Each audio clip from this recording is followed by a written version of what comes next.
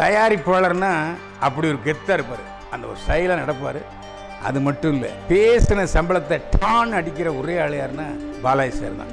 பல நடிகர் நடிகைகள் ம மறைவுக்கு வராத முதல்வர் ஜெயலலிதா நம்பியார் சாமி மறைவுக்கு வந்து அஞ்சலி செலுத்த செலுத்தினார் முதல்வராக.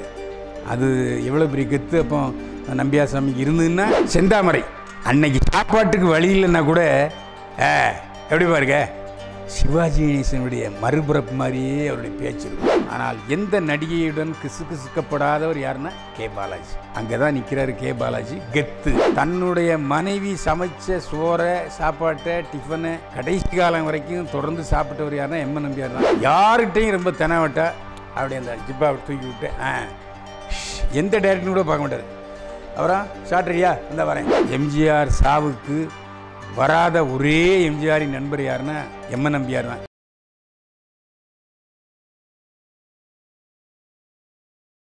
வணக்கம் நேர்களே இன்றைய நிகழ்ச்சியில் சினிமா நடிகர்கள் ஆனாலும் கெத்துன்னு சொல்லுவாங்க இல்லையா? நெஞ்சை நிறுத்தி கொண்டிருந்த ஒரு சில நடிகைகளை பற்றி இதில் பல விஷயங்களை உங்களோட நான் பகிர்ந்து கொள்கிறேன். கெத்து காட்டி நடித்த நடிகர் பாலாஜி தயாரிப்பாளர் நடிகர். கே பாலாஜி. அவர் வந்து ஒய்ஜி மந்திரனுடைய அம்மாவுடைய கூட பிறந்த தம்பி திருமதி ஒய்ஜி பார்சாரதியுடைய தம்பி.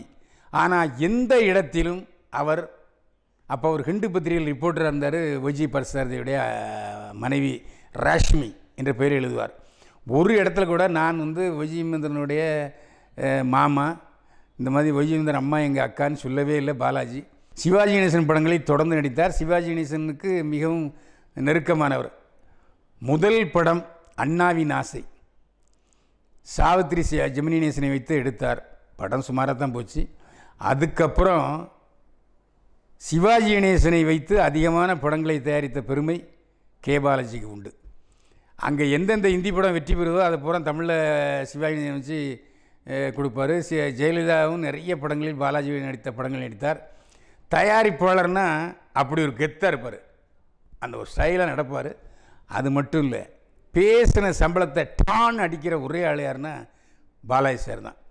நான்லாம் அவர் பட அவர் அவர் ப பாக்யராஜ் இயக்கிய படத்தில் பாலாஜி சார் தயாரித்த படத்தில் நடித்தேன் பாக்யராஜ் சார் தொ சொன்ன தொகையை ஒரே செக்கில் கொடுத்தாரு பாலாஜி கே பாலாஜி. அந்த அளவுக்கு யாருக்குமே பத்து பைசா பாக்கி இல்லாமல் செய்தவர் பாலாஜி. அது மட்டுமில்லை ரத்தத்தின் ரத்தமே என்ற படத்தை பாலாஜி சார் தயாரிப்பில் பாக்யராஜ் சார் நடித்தார் சின்ன பிணக்கு கருத்துவரோடு வந்துச்சு. நேராக பாம்பேயில் போய் பிரிண்ட் போட்டார் கே பாலாஜி. அந்த அளவுக்கு ஒரு கெத்தான ஆள். அதே மாதிரி அவருடைய மனைவி நோய்வாய்ப்பட்டிருந்த பொழுது மாயி என்று ஒரு பெண் சாமியார் அவருக்கு ஒரு இடத்தையே இனமாக கொடுத்தார். தன்னுடைய மனைவியை காப்பாற்றினார் என்ற ஒரே காரணத்திற்காக. தமிழ்நாட்டில் மிகப்பெரிய டப்பிங் ஸ்டூடியோவை எழும்பூரில் சென்னையுடைய பிர- பிரதான பகுதி எழும்பூரில் நிறுவியவர் Balaji sir. Sujatha outdoor unit அமைச்சவர் K Balaji. என்ன காரணம்னா நாணயமும் ஒழுக்கமும் மிகுந்தவர் கே பாலாஜி. கே பாலாஜி பல படங்களில் வில்லன் நடிச்சிருக்காரு. ஆனால் எந்த நடிகையுடன் கிசு கிசுக்கப்படாதவர் யாருன்னா கே பாலாஜி. அங்கே தான் நிற்கிறாரு கே பாலாஜி. கெத்து. நடக்கிறது எல்லாமே ஒயிட் அண்ட் ஒயிட்டில் போடுவார். ஒயிட் அண்ட் ஒயிட்டு பிரமுகரில் யார் முக்கியமானவர்னா AVM Saravanan sir. AVM Saravanan சாரும் ஒயிட்டு ஒயிட்டு அதேமாதிரி அவரும் ஒயிட் அண்ட் ஒயிட் தான். தன்னுடைய படங்களில் முத்தாய்ப்பான ஒரு வேடத்தை செய்வார் பாலாஜி. நான் எப்படி சாண்டர்சனை பார்த்தவர் தன்னுடைய படங்களில் ஒரு படத்தை ஒரு வேஷத்தை செஞ்சதில் தொடர்ந்து வேஷம் செய்வார். எம்ஜிஆர்ட்ட அடி வாங்குறதே தொடர்ந்து வேலையாக இருக்கும் என் சா- பார்த்தவர். ஆனாலும் தொடர்ந்து நடிப்பார் அடி வாங்குவார் எம்ஜிஆர்ட்ட. அதேமாரி பாலாஜி படங்களில் ஒ- ஒரு சீனில் நடிப்பார் இல்லாட்டி படம் முழுக்க நடிப்பார். பாலாஜி நடிக்காமல் அந்த படம் வெளிவந்ததில்லை அது மட்டும் இல்லை ஓப்பனிங்லேயே தன்னுடைய ப சுஜாதா மூவி டோன்னு காமிக்கும் போதே பாலாஜி பேர் வெளியிடுற அளவுக்கு ஒரு கெத்தான தயாரிப்பாளர் கே பாலாஜி. கெத்தாக வாழ்ந்து கெத்தாக நடித்து கெத்தாக தயாரித்து கெத்தாக மறைந்தவர் கே பாலாஜி. செந்தாமரை அன்னைக்கு சாப்பாட்டுக்கு வழி இல்லைன்னா கூட எப்படி பாருங்க? சிவாஜி கணேசனுடைய மறுபிறப்பு மாதிரியே அவருடைய பேச்சு இருக்கும். அதாவது பாக்யராஜ் சாரால தான் முக்கிய வேடத்தில் நடிக்க ஆரம்பித்தார் செந்தாமரை. அதேமாரி இப்போ மகேந்திரனுடைய படங்கள் பலவற்றில் முக்கிய வேடங்கள் செந்தாமரைக்கு இருக்கும். ஆனாலும் என்ன மகேந்திரா? அப்படின்னு தான் சொல்லுவார். என்ன பாக்யராஜ்? அப்படின்னு தான் சொல்லுவார். எல்லாருமே ஷாக்காவாங்க எல்லாருமே பாக்யராஜ் சார் பாக்கியராஜ் சார்னு சொல்லுவாங்க. இவனை மட்டும் என்ன பாக்யராஜும் பாரு. அதுமாரி மகேந்திரன் எல்லாரும் சார் சாரும்பாங்க இவர் மட்டும் என்ன மகேந்திரா? அப்படின்னு கேட்பார் அதுக்கும் ஒரு காரணம் இருக்குது ஏனென்றால் செந்தாமரை இல்லை என்றால் மகேந்திரன் இல்லை. செந்தாமரை தான் மகேந்திரனுடைய திறமை தெரிஞ்சு உதவி இயக்குனராக இருக்கும் பொழுது எனக்கு ஒரு நாடகம் எழுதித்தாங்க அப்படின்னு கேட்டார். அந்த நாடகம்தான் பின்னாளில் தங்கப்பதக்கம் என்ற பெயரில் சிவாஜி நடித்தார் அதில் தான் தங்கப்பதக்கம் மகேந்திரன் என்றே பெயர் வந்தது. அதற்கு உறுதுணையாகவும் அடிக்கல் போட்டது விதை போட்ட யாருன்னா செந்தாமரை நடிகர் செந்தாமரை அதனால் செந்தாமரைக்கு எப்போதுமே மரியாதை உண்டு. இருந்தாலும் செந்தாமரையினுடைய நடிப்பின் காரணமாக தொடர்ந்து தன்னுடைய படங்களில் வாய்ப்பு கொடுத்து வந்தார் பாக்யராஜ் சார்.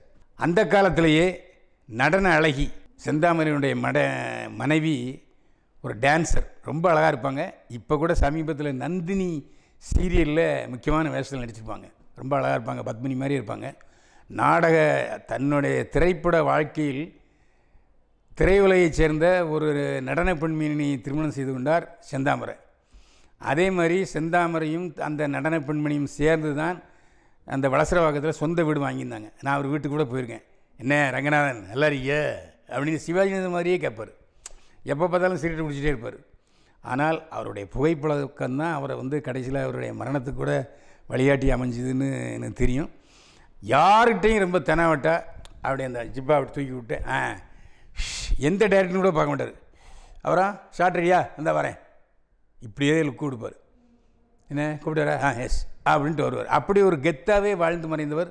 ஏங்க அடுத்த வேலைக்கு சோறு இருக்காது. கவலையப்பட இதை இதை வந்து ப செந்தாமரையே என்கிட்ட சொன்னார். நான் அடுத்த வேலைக்கு சோறு இல்லைனாலும் இப்படி தான் இருப்பேன் நான். ஒரு சீட்டை குடிச்சிட்டு கூட பேசாமல் இருந்துருவேன். எவன்டையும் நான் வாய்ப்பு கேட்டதில்லை என்று சொல்லுவார் செந்தாமரை. துணை நடிகராக இருந்து வில்லன் நடிகராக இருந்து பிறகு ரஜினிக்கே வில்லனாகி கமலஹாசனுக்கு வில்லனாகி பெரிய நடிகரானாலும் அந்த பண்பு மாறாதவர் கெத்து குறையாதவர் நடிகர் செந்தாமரை. எம்என் நம்பியார்.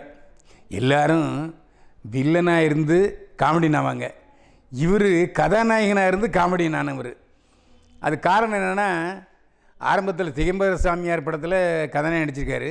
அதுக்கப்புறம் எம்ஜிஆர் சிவாஜி படங்கள் எல்லா படங்களையும் வில்லன் யாருன்னா மாஞ்சேரி நாராயண நம்பியர் தான். தனக்கென்று ஒரு தனி மேக்கப்பன் அப்போவே அது மாதிரி கொடைக்கானலில் பங்களா ஊட்டியில் பங்களா ஏப்ரல் மாதம் ஆனாச்சுன்னா சென்னையில் தங்க மாட்டார்.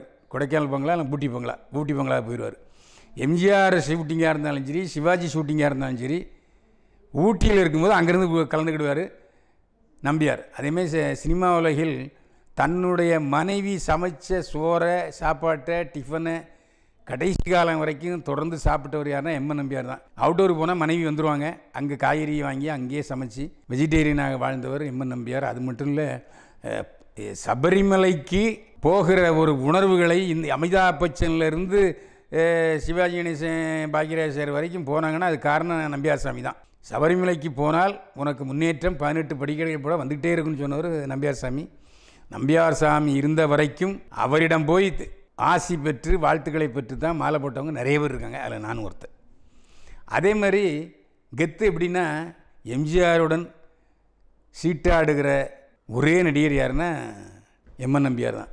அதே மாதிரி எம்ஜிஆரை பேர் சொல்லி என்ன எம்ஜிஆர் அப்படின்னு தான் பேசுவார். சாறு மோர் தயிரெலாம் பேச மாட்டார். ஏனென்றால் எம்ஜிஆரும் அவரும் ஒரே நேரத்தில் நடிக்க வந்தவர்கள்னு சொல்லியிருக்காரு. அதுமாரி சார் அப்படின்னு தான் எம்ஜிஆர் வந்து நம்பியார் சாமியை கூப்பிடுவார் நான் பார்த்துருக்கேன். அதேமாரி சபரிமலைக்கு செல்வதில் உறுதியோடு விரதம் இருந்தவர் அவர் தான். கடைசி வரைக்கும் டோலியில் போகவே இல்லை. இப்போ அந்த அந்த பெருவெளி என்று சொல்லுவார். நாற்பது கிலோமீட்டர் நடக்கணும் மலை மேலே. அந்த நடை அந்த ம- அந்த மலைசூழ் பகுதியில் நடந்து போன பெருமைக்குரியவர் நம்பியார். ஆனால் என்ன அவர் மேலே ஒரு வருத்தம்னா பிரஜல் எம்ஜிஆர் இருந்தபோது மாலையை கழட்டில். சபரிமலைக்கு போகிற காரணத்தினாலே எம்ஜிஆர் சாவுக்கு வராத ஒரே எம்ஜிஆரின் நண்பர் யாருன்னா எம்என் நம்பியார் தான். எனக்கு அதில் கூட கொஞ்சம் எம்ஜிஆருக்கு நான் எம்ம நம்பியார் மேலே எனக்கு கொஞ்சம் வருத்தம் உண்டு. என்ன சார் நீங்கள் வராமல் இருந்துட்டீங்களே? அப்படின்னு கேட்டால் கூட அதை பற்றி பேசாத. என் மனசில் எம்ஜிஆர் இருக்கார்? அவர் மனசில் நான் இருக்கேன் அப்படின்னு சொல்லிடுவார். அந்த அளவுக்கு தீவிரமான த சபரிமலை பக்தர் வந்து எம்என் நம்பியார். அது மட்டும் இல்லை அசிங்க சீமா ஆபாச ஜோக்குகளை மானாவரியாக பேசக்கூடியவர் நம்பியார். ஆனால் ஏகபத்தினி விரதன் ஒரு நடிகையில் கூட கற்பழிப்புக்கு மாதிரி நடிப்பாரை தவிர அந்த அந்த மனசோடோ இல்லை ஸ்பர்சமோ கிடையவே கிடையாது. ஒரு சாமியார் மாதிரியே வாழ்ந்தவர் எம்என் நம்பியார். காலையில் நாலே கால் மணி கரெக்ட் கரெக்டாக மெரினா பீச் காந்தி சிலையில் அவரை பார்க்கலாம். ஏன்னா நான் அப்போது ஸ்டண்ட்டு ப்ராக்டிஸுக்காக மறைந்த மா மாடக்குளம் தர்மலிங்கம் மாஸ்டர்கிட்ட பயிற்சி பெறுறதாக போவேன். அப்போ நடந்து வந்துட்டே இருப்பார் மனைவியோட. அங்கு வேகமாக நடிக்கிற நடக்கிறவர்கள் யாருன்னா நம்பியார் தான். நம்ம அவரோட நடிப்பை நடக்க நடையில் பயிற்சியில் போட்டி போட முடியாது. அவ்வளோ ஃபாஸ்ட்டாக நடப்பார். மனைவி பின்னால் கொஞ்சம் ஸ்லோவாக வருவாங்க. ரெண்டு பேரும் காரில் வந்து இறங்கி அப்புறம் மறுபடியும் ஒன்றா போவாங்க. பேசினா கூட ரெண்டு வார்த்தை பேசிட்டு போயிடுவாருன்னு அவரோட நடைக்கு பயிற்சியில் போட்டி போட முடியாது. அந்த அளவுக்கு அதே மாதிரி கடைசி வரைக்கும் உடம்பை கிண் என்று வைத்து தேகப்பயிற்சி செய்து ம எண்பத்தி நாலு வயசோ எண்பத்தி மூணு வயசுலேயோ அவரையாகவே நான் அவ பையன் அவர் மகன் வந்து வெளியூர் போகிறேன்னு இருக்கான். அப்போ ஏதோ சொல்லியிருக்காரு. வரும்போது அப்படின்னு ஏதோ சொல்லியிருக்காரு. அதே மாதிரி சொ- சொன்ன நாளில் அவர் தன்னுடைய மரணத்தை முன்கூட்டியே அறிந்து வைத்திருந்தவர் எம்என் நம்பியார் கெத்தோடு வாழ்ந்தவர். அதேமாதிரி ஒயிட் அண்ட் வீட்டில் தான் அவரும் வருவார். ஒயிட் ஜிப்பா ஒயிட்டு குருதா போட்டிருப்பார். வருவார். மேக்கப் போடும்போது அவர் பார்த்தீங்கன்னா அப்படியே பேசவே மாட்டார். தியானத்திலாம் இருப்பார்.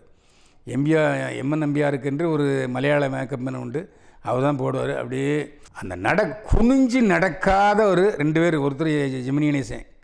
கடைசி காலத்தில் குனிஞ்சார். கடைசி வரைக்கும் குனியாமல் அந்த மிருந்த நடையோடு நடக்கிறவர் நம்பியார். நடக்கும்போதே அந்த எங்கள் எங்கள் வீட்டு பிள்ளைகள் பார்ப்பார் பார்த்தீங்கன்னா கத்து. அப்படி தான் பார்ப்பார். அந்த மாதிரி ஒரு கெத்தாக வாழ்ந்து மறைந்தவர் நம்பியார் சாமி. எல்லா நடிகர்களுடைய மனதிலும் நீக்கமர நிறைந்திருப்பவர் எம்ம நம்பியார். எம் பல நடிகர் நடிகைகள் ம மறைவுக்கு வராத முதல்வர் ஜெயலலிதா நம்பியார் சாமி மறைவுக்கு வந்து அஞ்சலி செலுத்த செலுத்தினார் முதல்வராக. அது எவ்வளோ பெரிய கெத்து அப்போ நம்பியார் சாமிக்கு இருந்ததுன்னா முதல்வர் ஜெயலலிதா அவங்க மறைவுக்கு வந்திருப்பாங்க. அதுலேருந்து நீங்கள் புரிஞ்சுங்க இது போன்ற செய்திகளை மேலும் தெரிந்து கொள்ள எங்களது யூடியூப் ஃபேஸ்புக் மற்றும் ட்விட்டர் ஆப்களை சப்ஸ்கிரைப் செய்யவும்.